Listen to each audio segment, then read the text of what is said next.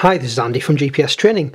In this video we're just going to look at how we fit a screen protector to a Garmin Montana 700 series. We stock a couple of versions of screen protectors. The one I'm going to use here today is the one that we have called the Savvy screen protector. So we sell these in packs of two. Instructions are on the back of the packet um, that you get with the screen protectors. What we recommend first is that you give your screen a thorough clean.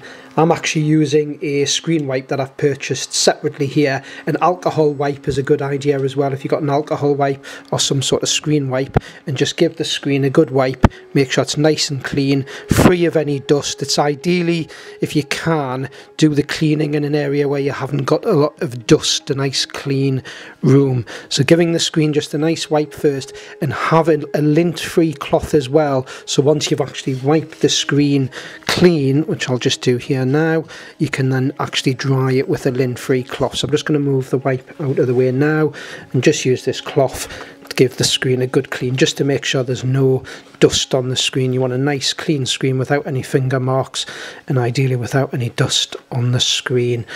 Once you've got it nice and clean, make sure you've got some sort of a credit card or something that you can use that you end up wrapping in the cloth so you can smooth out any bubbles that you may get when you put the screen protector on. So with the screen protector, actually find out which side is going to peel off.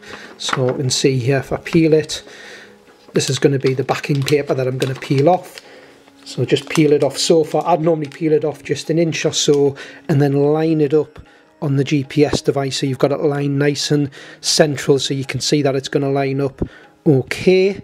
Once you've got it lined up just a gentle press down and then you're just carefully pulling the backing paper from it as you push it down. Now this is where I tend to get the card inside the cloth and I just put the card inside the cloth just so I don't mark the outer of the screen. So I've just got the card wiped up uh, sorry wrapped up wiped up um, in the cloth. You may want to get a thinner cloth it depends um, what you've got available. So I'm just going to put this so it's just in the cloth there and I can just squeeze any bubbles out and then carefully pull the backing paper off making sure you don't touch the screen and just again I'm just sliding the card down I'll finish off and get the rest of these air bubbles out once I've got it down so that I can pull the backing paper away and then again I'll just get this card in the cloth and then we'll just smooth out these bubbles. Sometimes I find you'll find the bubbles settle down and do clear out themselves but it's just a case of rubbing the card over the unit and just squeezing out those air bubbles. You can see those air bubbles nicely coming out there now. So that's just about done. Um, what I sometimes find as well, it's quite um, good to actually just get the cloth and just put a bit of pressure on the bubbles with your thumb, with your finger, just to push them out.